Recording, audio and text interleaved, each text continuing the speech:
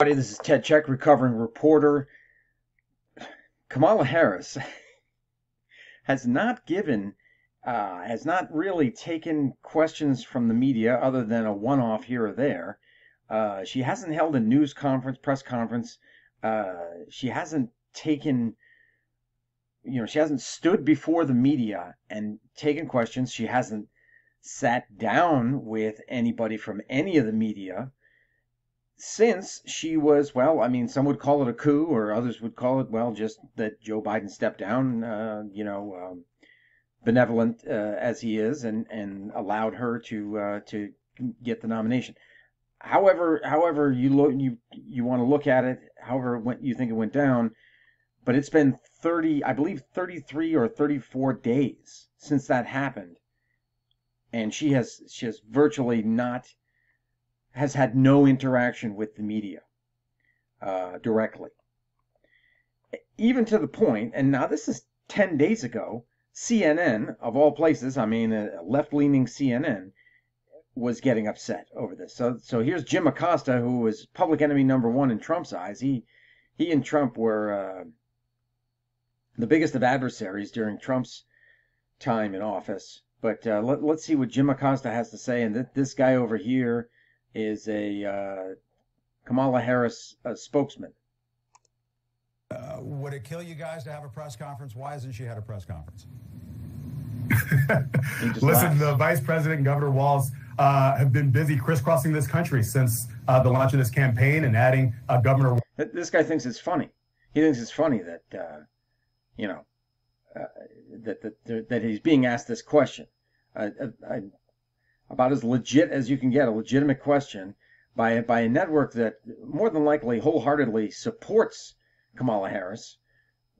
But yet, that you know, it's a, it, like I, I, think I said before in another video. It's like it's a it's like a lack of respect. I think they uh, they're like, look, CNN's like, look, we're we're here to support you, but you got to throw us a freaking bone every now and then. You know what I'm saying? Give us a sit down.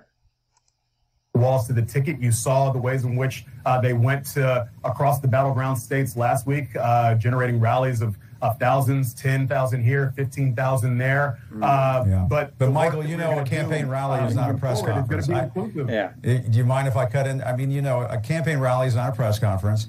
Why hasn't she had a press conference? She's the vice president. She can handle the questions. Why not do it? Good for Acosta to, to push it. Oh, we absolutely are going to do it. You hear her take questions as she's out on the stump, and she's as she said last week, uh, we're going to be having a sit-down interview here before the end of the month. Uh, what she's going to be focused on, and what this campaign is going to be focused on, is communicating directly with the voters that are actually going to decide the pathway to 270 electoral votes. That's why she.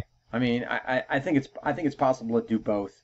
So what what uh, what can we conclude other than uh, this is by design? That uh, you know, I mean, you can believe who you want to believe. You know, some would say that's her weakness, that she has trouble uh, taking questions. You know, doing uh, uh you know essentially uh, uh, improv or or you know just taking spontaneous questions when when she's not reading off the teleprompter. That that's her weakness. Um, I mean, it, what else are we to conclude? Uh, Peter, more recently, Peter Doocy, because that was 10 days ago. 10 days ago. Peter Doocy from Fox uh, was able to get off one question to her, if this after uh, her speech. play. Madam Vice President, congratulations. Are you ready for your Fox News interview? I'm working towards it. A two-parter here, Joe. Uh, will we see a Kamala Fox interview? But bigger so they're working. oh, ha ha ha ha ha! We're working towards it.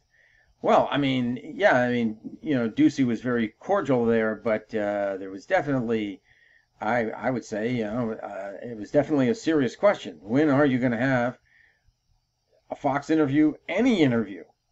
Anyone?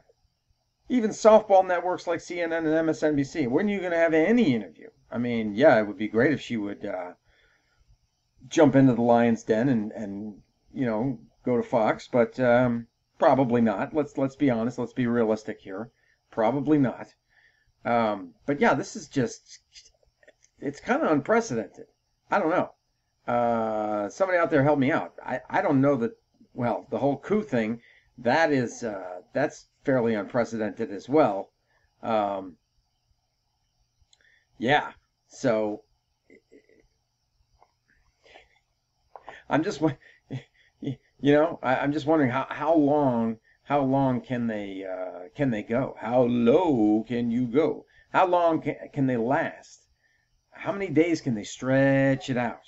You know, is there some some date that they're waiting for uh, to do it, or I mean, are they are they you know, there's there's such a thing as over preparing. I mean, look at look at what happened to Joe Biden. Now you could say that was his cognitive thing, but he, you know, he prepared for like a week straight for that debate. Um, so that, so there's there is uh, I I think uh, something to be said for over preparing, if she is in fact preparing at all.